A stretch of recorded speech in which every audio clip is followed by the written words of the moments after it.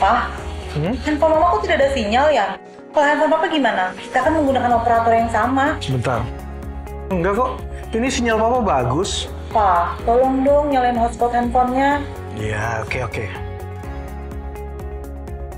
Dah, Nah, wifi handphone mama sudah nyala. Terima kasih ya, Pak. sama-sama.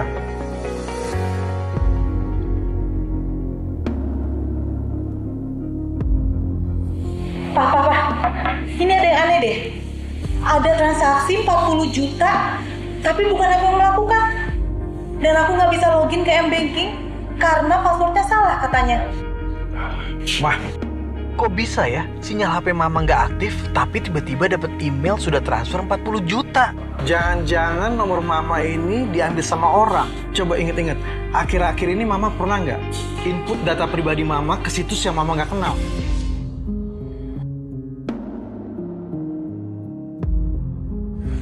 Mah, Iya Pak bener.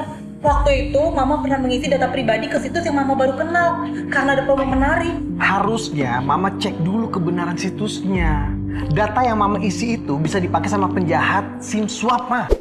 Ingat, jangan memberikan data finansial kepada siapa pun.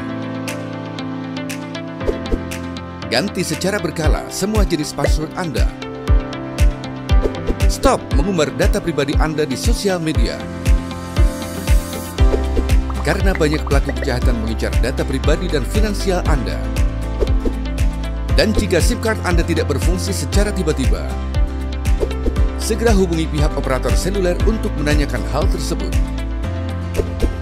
Jika ada penggantian SIM card tanpa pengetahuan Anda, kemungkinan besar Anda terkena SIM swap. Mintalah operator seluler untuk memblokir SIM card Anda. Waspada, jika ada transaksi tidak dikenal di rekening Anda, hubungi call center bank untuk memblokir rekening Anda dan segeralah laporkan kepada pihak berwenang untuk melengkapi penyelidikan lebih lanjut. Ayo deh Pak, Mama mau lapor ke operator seluler. Ayo, ayo.